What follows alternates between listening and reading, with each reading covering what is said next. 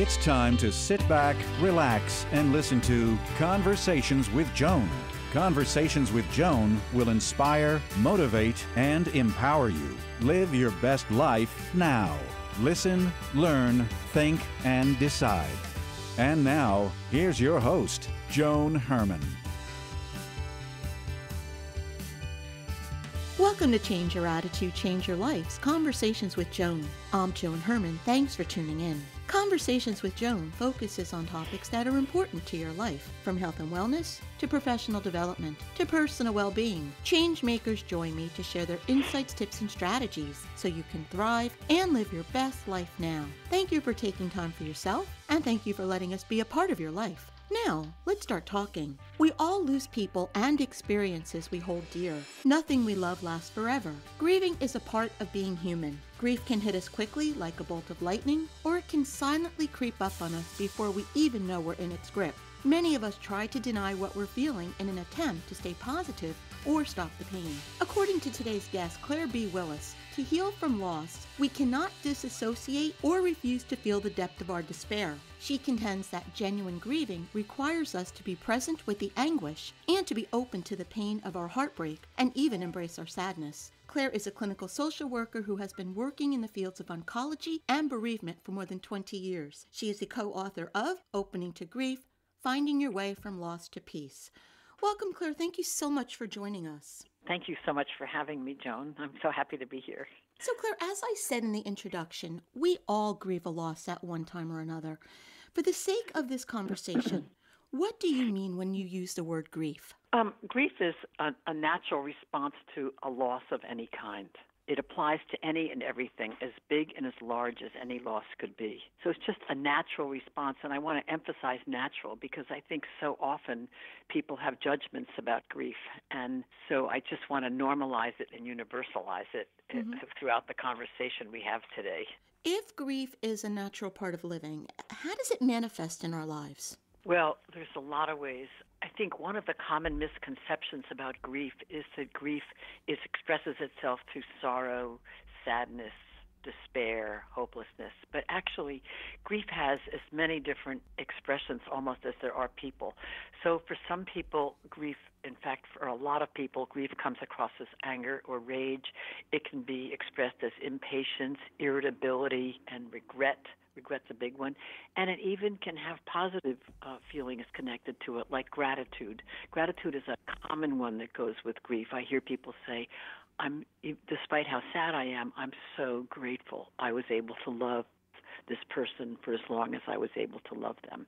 And so I think it's important because oftentimes in families, what happens is that people grieve differently. And because they're grieving differently, people think other members of the family aren't grieving. And it creates a lot of conflict. It also can um, express itself cognitively in, by in our thinking. Our thinking becomes less clear. We're often confused. We're easily overwhelmed. We often, many people can't focus at all. People find it hard to read and concentrate. Um, we get forgetful. In behaviorally, often people will do things. They'll overeat, they'll undereat, they'll overexercise, they'll underexercise, they'll overwork, they'll underwork. So the grief has a lot of expressions behaviorally, and I think especially in the time when people have a traumatic loss, that people can have their spirituality or their religion um, shattered by not being able to understand why this thing has happened. And I think it often accompanies traumatic losses, the spiritual crisis, and the, the expression of lack of faith or shattered faith. You know, it, it's so interesting, all of the things that you just described, because I'm sure many people don't associate some of those things with grieving. You know, we have this idea that we go through loss and then it, you know it's kind of like a one and done thing. We should be done. We should move on, right. and it's it's over. I I remember you know about a little over ten years ago at the start of all the work I'm doing now. It, this all resulted really from traumatic loss and in a period of six months, my 23 year marriage ended, my mother died, my sister died, and my oldest son left for college. And so it was like one day I had this particular wow. life, and, and the next it was gone. And you know, as time passed, in when when you go through this loss in the early stages, people are around you. But as time passes, you, you start to get this feeling, well, you know, people don't really want to hear it anymore. It's old news. And so, how do we navigate those feelings we may be having about sharing our pain with others? That's a really interesting question you're asking because I think it touches on a few things here. One is that when we lose someone we love, or you had what I would call a pileup of losses, you had a bunch of them. Um, what happens is that there are what they call in the literature secondary losses. I like the word invisible better. But for instance, when you lose a partner, whether it's through divorce or separation or death, there are losses that accompany that loss that are called secondary, but they're actually not secondary often in, in impact.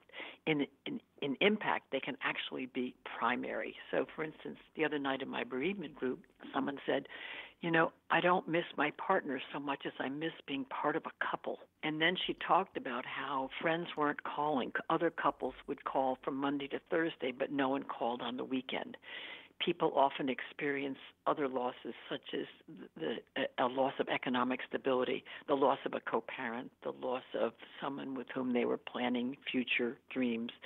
Some people lose their homes and have to move. So that when someone dies or there's a change that results in a big loss, there are so many tendrils and other aspects of our life that this also touches.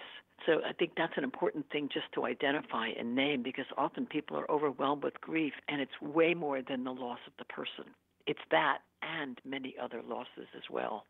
Well, as you were saying that, I was thinking just with my divorce alone, it was not just the loss of my husband, but the loss of his entire family. People That's that right. were like brothers and sisters and cousins all of a sudden were gone as well. So you're right. It's not just the one person, it's the dreams, and then it's all those other people that are no longer That's part of your life as well. That's right. That's right. There are multiple levels of losses. One of the things that happens is people will hang out initially in the face of a loss, but people return to their lives far faster than the person who's grieving is ready for that to happen. And I think often the second year of grief in the face of a loss is harder than the first year, or especially in the face of a death, I should say, because the first year is taken up with a lot of material planning of the closing of the life, the funeral, all of that. And often it's not until the second year that people begin to grasp what's happened because when we're coping with a loss, we can't deal with it. And when we're dealing with a loss, we can't cope. So we have to choose between coping and dealing. And that first year is about coping. And often later on, the emotional impact is what comes to the foreground and people are surprised. They'll say oh i thought i should be better by now. Well you know grief doesn't go away. It mm-hmm. just changes form And it changes forms for many years to come. I mean, people have said to me, I don't know how you move forward from all of that, but you know, the intensity lessens. You're able to get on with your life more and more. But, you know, 10 years later, I can be walking down a supermarket aisle and see a box of cereal and start That's to right. cry. And so I want to go Yes. over with you the stages of grief. Can I say something about Sure. what you just said before we go on? Because I think what you just said is really important, Joan. When you're walking down a supermarket aisle and you see a box of cereal and you melt down, I often hear in my bereavement groups, I thought I was doing so well, and I walked down the aisle of the market and I saw the cereal and I lost it. And I say to people, you didn't lose it. You had a moment of grasping the full magnitude of what you've lost. We can't hold it all the time because looking at death is like looking at the sun. We look, we turn away, we look, we turn away. We can't sustain it because our psyche couldn't endure it. So our grief comes in waves. And that particular wave that you just described is called, there's an acronym for it, and it's called STUG um, Sudden Temporary Upsurge of Grief. And it happens when people are grieving, and invariably they turn on themselves and say, I thought I was doing well. Well, it's always temporary, and that's the thing to remember that when you have a, a temporary upsurge of grief, it doesn't mean you're, you've set yourself back. It means you've just had a moment of fully grasping what you've lost.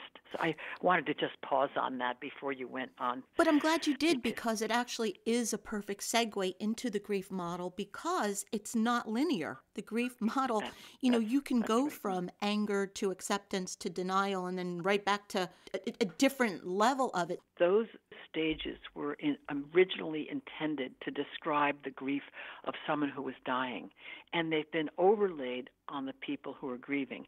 And while those different stages apply, some of those stages apply, they don't apply in a linear fashion. We all go through denial, we go through acceptance, we go through anger, we go through integration, but it doesn't happen in any sequence. And some people don't even go into all of those stages. So I think we have to be careful with the stage models because what happens is that people will compare themselves to what they know about the stage model, and then they end up shaming themselves for not grieving properly. I don't know whether you've read this quote or heard this before, but I think this is so beautiful, and I, I wish I had found it before I wrote the book. Um, this is something that a man named Jamie Anderson wrote. Grief, I have learned, is really just love. It's all the love you want to give but cannot. All that unspent love gathers up in the corners of your eyes, the lump in your throat, and in that hollow part of your chest. Grief is just love with no place to go. And I think I love these words because it means that we shouldn't it suggests certainly that we should never suppress our grief because if we suppress our grief, we're suppressing our love. When should a person maybe start to believe that it's time for help? Like, how do they know if it's yeah. a natural part of grieving or if maybe there's something a little bit deeper going on? That's a great question. Um, I think that what you're talking about is sort of what is the difference between grief and depression. So, if you're not eating, if you're not leaving the house, if you're drinking too much, if you're having thoughts of suicide or joining your loved one somewhere, those are really ominous signs and should be you should seek care for them. The other thing is that with depression, there are no moments of light. It it's a gray lens on your on your view of the world. There there are no breakthroughs of, of delight or happiness. With grief, grief comes in waves. It comes and it goes. And while you may not want to leave the house and you may have an extra drink, it it's not that sustained darkness that depression will bring. Can a person get stuck in the grieving process? I think depending on pre existing conditions, yes, they can. I think if you come into, I mean, actually, there's a lot of reasons you could get stuck. You could get stuck depending on the um, the details around the death. For instance, I think a suicide can often leave one stuck when there's been a complicated relationship. Um, traumatic deaths uh, can be sticking points um, if you've been predisposed to a mental illness beforehand or you're not a very stable person, I think you can get stuck and need some help. So I, I don't think most people don't get stuck, although I think people often feel they're stuck. But mm-hmm. I think that's more a question of being impatient with the process. But yes, I think you can get stuck, and usually it's because of extraordinary circumstances outside or specific complications of the grief, which I've just mentioned. So, what about the pandemic that we've all been experiencing? People are, you know, they've lost the, the way of their life. Maybe they've lost their jobs, or they've lost a loved one, or they've lost their health because of coronavirus. So, how has the pandemic impacted the way we grieve? Well, you know, it's really interesting. Uh, uh, um, uh, David Brooks, a New York Times columnist, wrote a column last year. He wrote and asked people how they were doing. And within three days, he had 5,000 replies. And what he discovered was he described at the end of this article there's a river of grief, a river of woe that's flowing through our culture. And I love his description of a river because water touches everything. Water seeps in where you don't know it. So everybody in the world has suffered some loss around uh, coronavirus.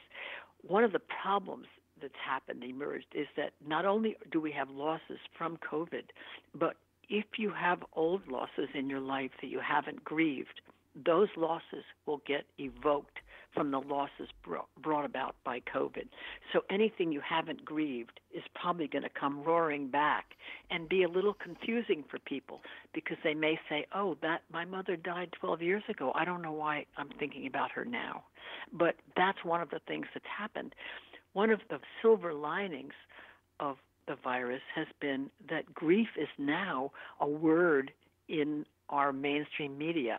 It's now in our our daily life. And I love that the nuances of grief have been introduced and that it's being normalized and talked about in a way that it never was before. Claire, normally when a person experiences grief, the, the people around them are usually in a better or a healthier mental state. But when we're all experiencing the losses of a pandemic, should we be cautioned about spending so much time talking about the pain with other people who are talking about their pain?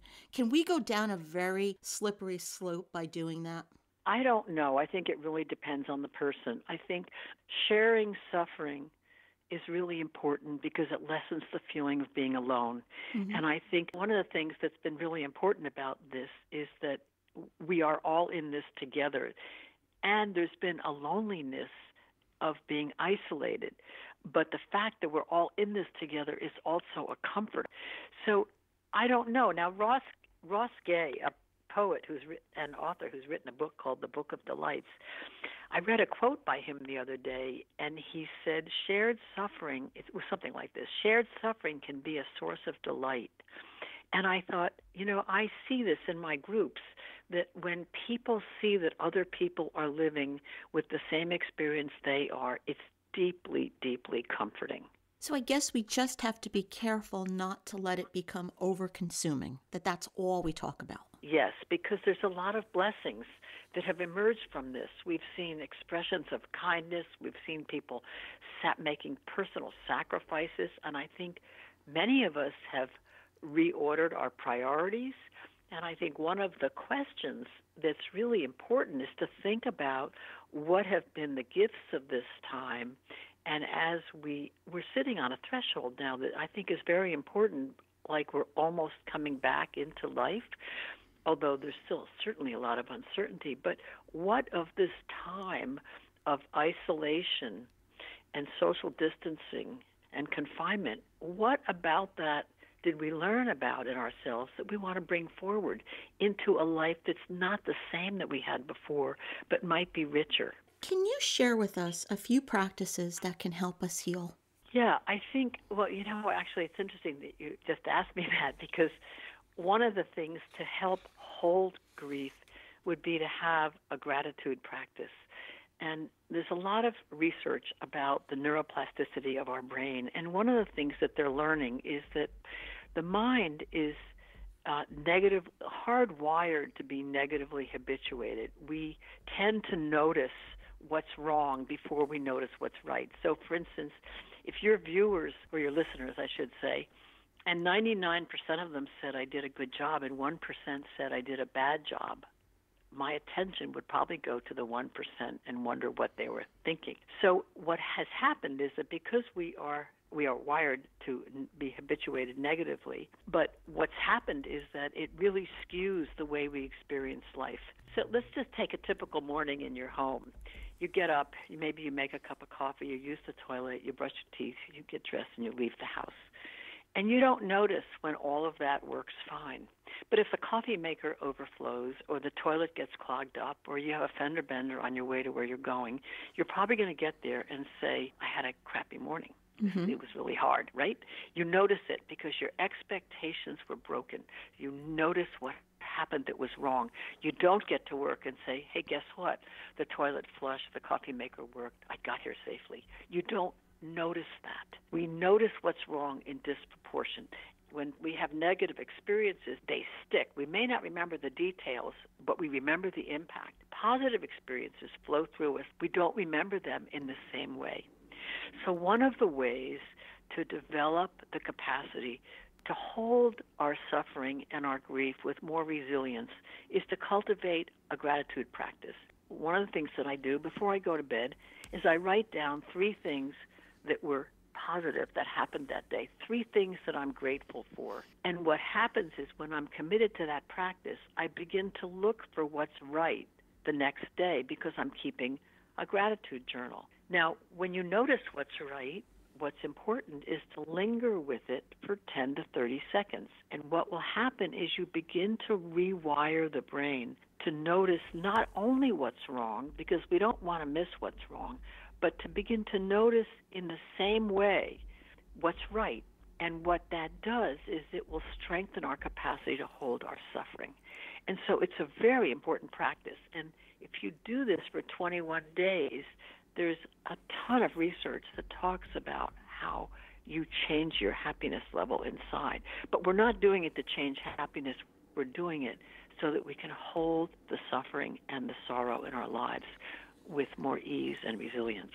You know, Claire, when I went through those challenges, I started doing a gratitude journal at night. And I remember I was going to write down five things every night. And the first night I thought, oh, I'm, I do not have five things to be happy for. And once yeah. I started listing them, it's like a floodgate opens.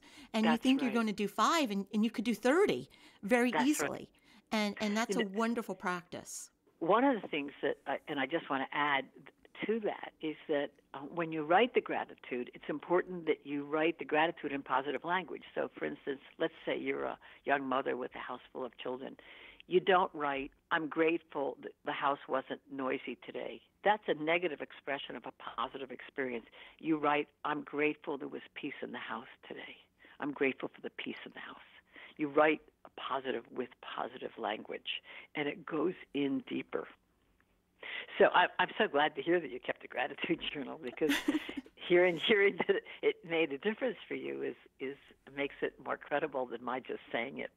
and to be honest, when I started it, I really didn't know what I was doing. I just did it on my own, but it really yeah, did have a positive experience. It's the one thing that you can do that, on a basis of research, has shown that people get ha- live happier lives. But I think more to the point with grief is that it helps us hold our grief more effectively. The book is Opening to Grief Finding Your Way from Loss to Peace. If you'd like to get more information about Claire and her work, you can visit openingtogrief.com. Claire, thank you so much for joining us. It has really been a pleasure speaking with you. Thank you for having me, Joan. Thank you for joining us. I hope you found the show informative. Change Your Attitude, Change Your Life, we believe that knowledge is power. Take what you've learned, apply it, and live your best life now. Remember that the information provided is the opinion of our guest and should never replace the advice of a professional who knows your personal situation. If you'd like more information, visit our website CYA-CYL.com. That stands for Change Your Attitude, Change Your Life. While on our site, listen to past shows on demand, read the digital magazine, sign up for our mailing list, and be sure to follow the show on social media. Until next time, this is Joan Herrmann. Thanks for tuning in.